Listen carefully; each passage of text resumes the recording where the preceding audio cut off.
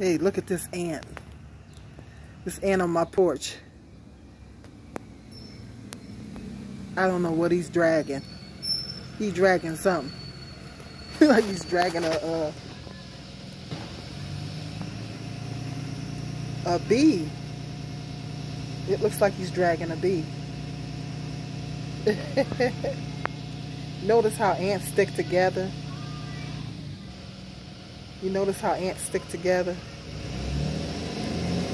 And they work together for the common good. That's what black people need to be doing. You see how this ant is getting gathering food and taking it to the nest? And ants work together to build. That's what black folks need to be doing. There's a parable.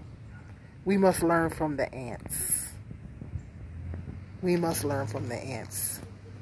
Work together for the common good of your people. Alright, marinate on that.